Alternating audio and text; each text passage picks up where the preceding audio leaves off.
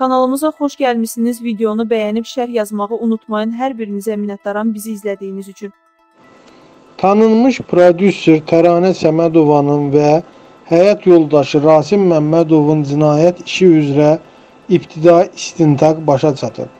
APA xəbər verir ki, təqsirləndirilən şəxslər barəsində toplanan cinayət işi materialları baxılması üçün Bakı Ağır Cinayətlər Məhkəməsinə göndərilib. Cinayət işi hakim Səbinə Məmmədzadənin icraatına verilib.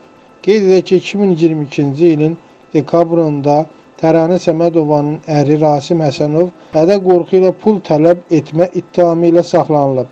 İstintaqın gedişatı zamanı prodüserin də cinayət işi üzrə əməlləri ortaya çıxıb və istintaqa cəlb olunub. Onun barəsində məhkəmə tərəfindən həbs qəti imkan tədbiri seçilib.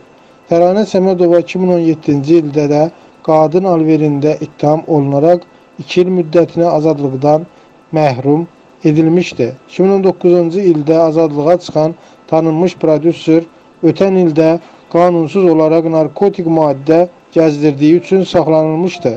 Məhkəmə Təranə Səmədovanın hamilə olduğunu nəzərə alaraq ona həbs cəzası verməmişdi.